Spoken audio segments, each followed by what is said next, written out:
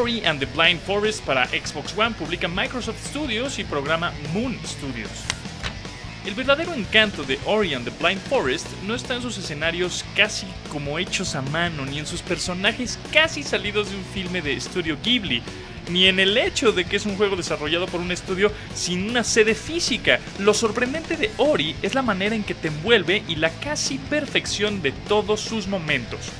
Ori and the Blind Forest puede definirse como un Metroidvania. Recorres un largo escenario a través del cual vas adquiriendo nuevas habilidades que se convierten en la llave para acceder a nuevas áreas que a su vez te llevan a nuevas habilidades que hacen que tengas que retroceder para retomar un camino que anteriormente te era imposible.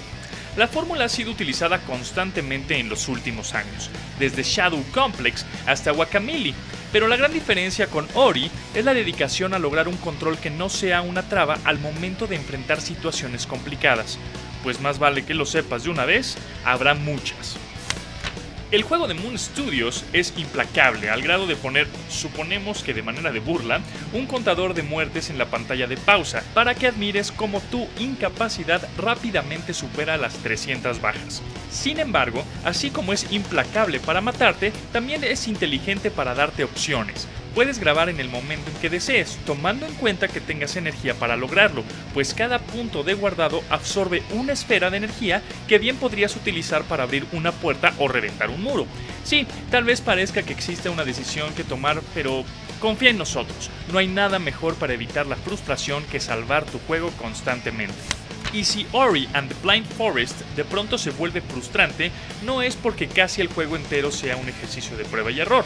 Desde largos pasajes en que debes memorizar qué habilidad utilizar hasta escenas casi coreografiadas en las que un error implica volver al inicio. Este juego no tiene miedo en convertirse en un ejercicio de memorización. Lo mejor es que casi todo el tiempo se siente como una demostración de reflejos y capacidad de previsualizar para el jugador, lo cual te hace sentir como el campeón mundial de Donkey Kong. No, el problema de Ori son esos escasos momentos en que activas un poder por equivocación al mover ligeramente hacia abajo la palanca y terminas en un punto de control lejano. De cualquier manera, esa minucia se siente cosa de nada conforme esa trama simple pero conmovedora comienza a desenvolverse. De pronto puedes sentirte perdido, hay que confesar, tengo que ir al árbol de qué para liberar qué? ¿En dónde qué?